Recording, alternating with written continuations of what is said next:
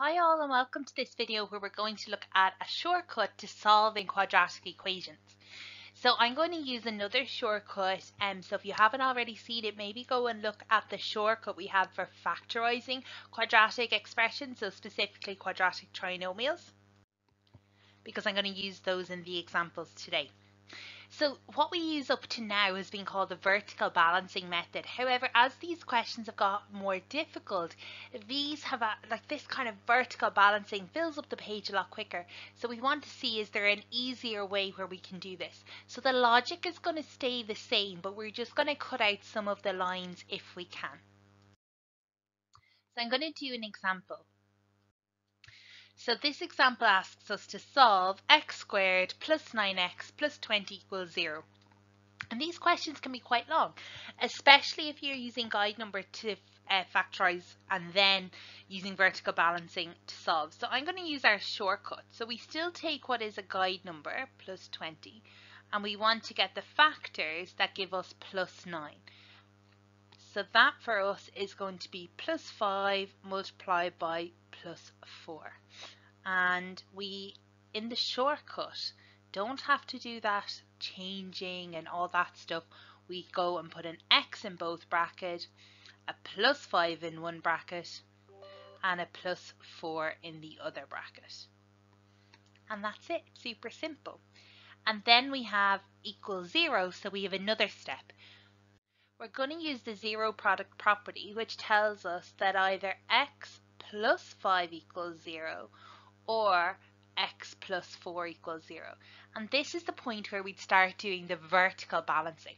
Now the balancing part is still very, very important. However, we want to kind of just make it a little bit uh, quicker or maybe not to take up as many lines as we have been doing. So usually we'd say, well, if x plus 5 equals 0, we take away a 5 from both sides. We're going to say that and we're just not going to show that. So if I take away a 5 from both sides, I get x equals, and on this side I get minus 5, which is my answer.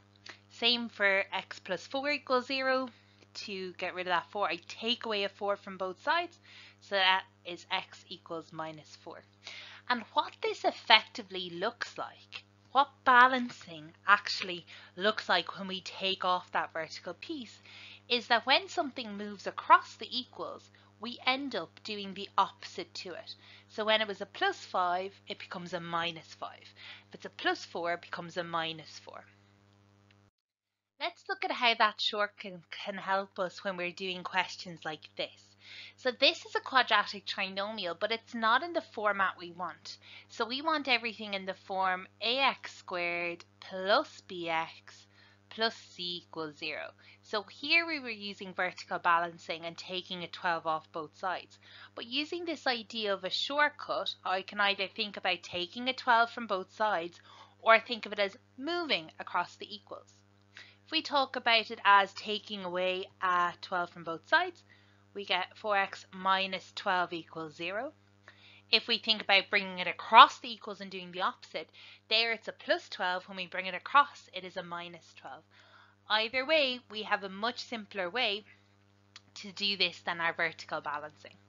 Now we're going to use our guide number, which is minus 12.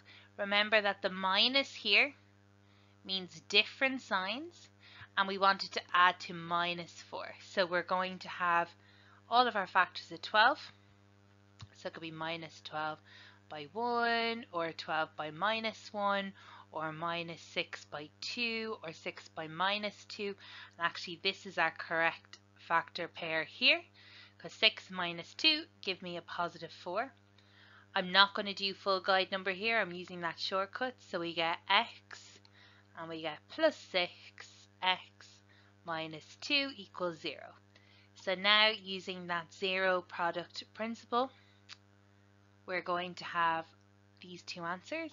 And using the logic of either taking a 6 from both sides or moving that plus 6 across, we get x equals minus 6 and here the same we get x equals and in this case adding 2 to both sides. So x equals 2.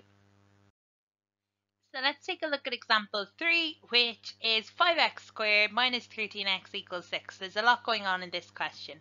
So the first thing we're going to do is try get it in the form ax squared plus bx plus c equals 0. So that 6 is on the wrong side, so we're going to take away a 6 from both sides, which gives us 5x squared minus 13x minus 6 equals 0.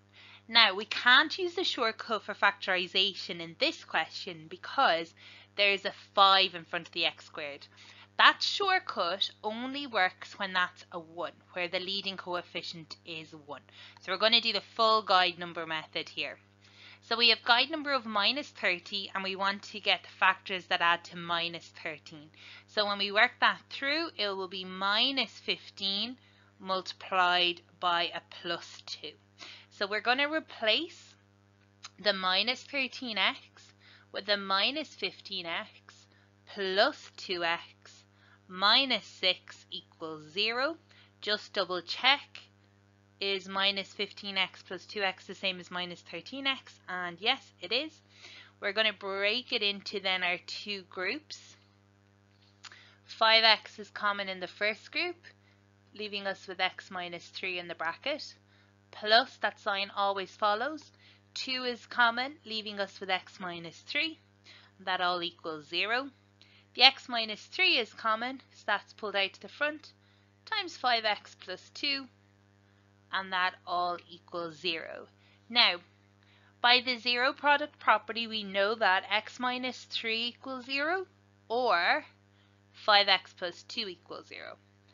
Now the x minus 3 is nice and straightforward. We will add a 3 to both sides, which will end up giving us x equals 3.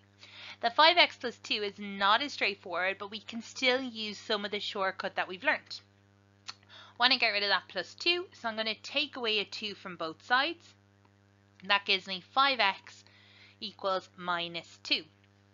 Now, here, I need to get x on its own. So I'm going to do what we've always done and divide both sides by 5. And that gives us x equals minus 2 over 5. That in itself is the shortcut because if we want to bring something over the equals, we do the opposite. So if we were to move that 5 across the equals, it is currently multiplying, so we would end up dividing it. So I wouldn't suggest changing that step at all. It makes sure you get it right. I find students who don't put in the dividing on both sides often get confused what goes on the top, what gets on, goes on the bottom. So keep that shortcut for just the adding and subtracting part for now and keep working the way you're working. If you're happy, if you want to start applying that shortcut, that's perfect. But if it's not working for you, if you're not getting the right answers, you need to go back to using the long method.